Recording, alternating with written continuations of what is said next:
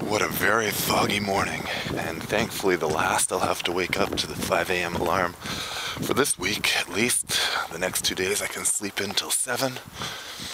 Also, the last workout of this series of three means tomorrow I get a rest day, and boy do I look forward to it.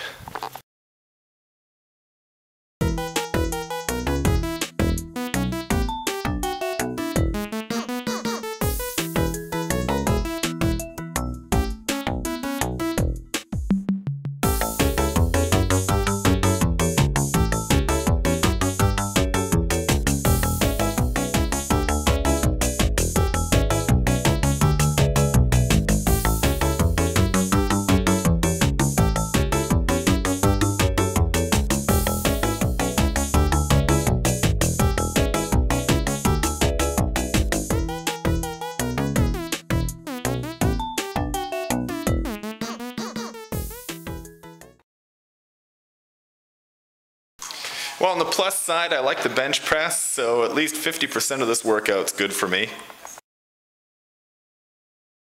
I didn't feel like I had a lot of kick today. Feeling a little bit worn out from the last couple workouts.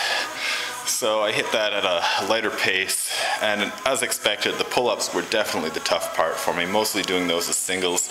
The bench press, not so bad, but uh, I'm really looking forward to the rest day tomorrow.